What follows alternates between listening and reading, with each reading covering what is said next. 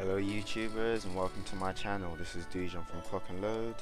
This is my first YouTube video and I will be showing you how to use the wiring toolkit. So, let's just get out. If you can see, this is how the HUD looks right now. As soon as you get the wiring toolkit out, you notice these the output and input points, red circles, purple circles. If I connect this purple circle, uh, hold on, just getting used to this tech, to this red circle over here, and then change to any other tool, and press E on the computer now, you can see it controls this door. The issue, however, is that means you can no longer open and close this door on its own. So you get a win and a lose there.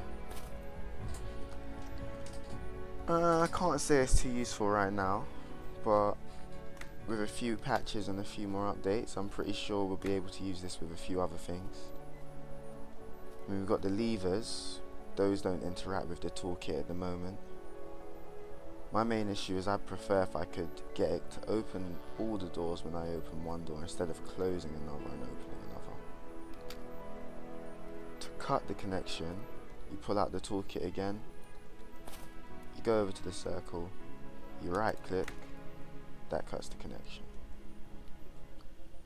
Now I mentioned about opening and closing doors. Let me show you what I meant.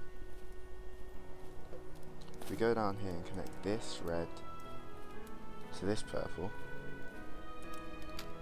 we've established another connection. It only works if you open this door, that door closes. Now, say I'd forgotten to close that door, I can't open this door back here. I have to go all the way over here and close it. So for me, I can't really see this see its usefulness at the moment, especially as if you wanted to use it as a lock to keep people out, they can just pull out a drill, knock the door off.